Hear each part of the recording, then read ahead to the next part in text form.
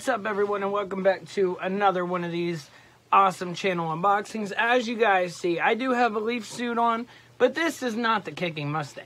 This is my OG ghillie suit that I am currently in the process of reworking because I've had it for quite some time, and it's kind of getting a little baggy in spots, and some vegetation has wore off.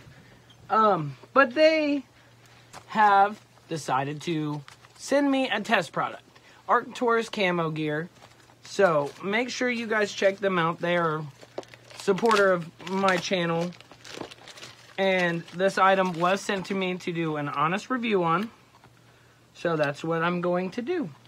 An honest review. It comes in this nice little packages or packaging. And this is the summer green, which will be the same as my suit. Obviously, I've done some color modifications to it, added some things. And then this is their new 3D leaf face mask. It comes in this nice package, as I've shown. Another package here, sealed up. You also get your Arcturus camo sticker, Arcturus camo gear. Sorry for the light, it's a little brighter than normal.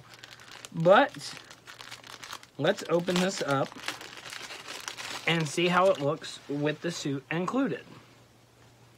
So once you get it open, it's a pretty decent size balaclava style mask. So let me put it on my big head here. And then pull my hood up over it.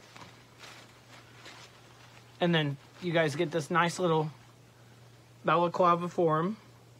And it does have adjustments that you can make to it. And then it has this nice little camo concealment mesh. And then there you are. So this is made out of the same leaf strip material as the suit is. And that is pretty durable. But the mesh that they use is not the quick based mesh it's the tighter mesh, a little bit harder to craft, but that's okay.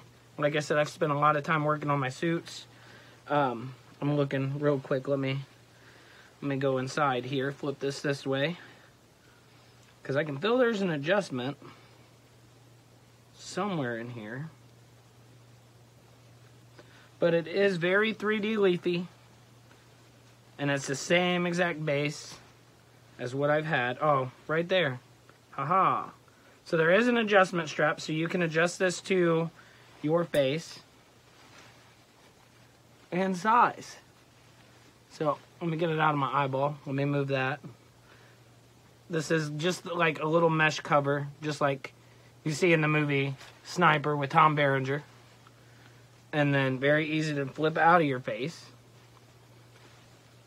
But this is just a quick review for them. I do like this. This is awesome because I can still wear my mesh mask underneath and then I can still wear my goggles up here. And then there is the full picture of it. Uh, yeah, you can see me talking. Yeah. I look like Swamp Thing, but that's okay. But as you guys see, even with the modifications on my suit, this is pretty awesome. I'll have to do some pictures for them when I get more green outside.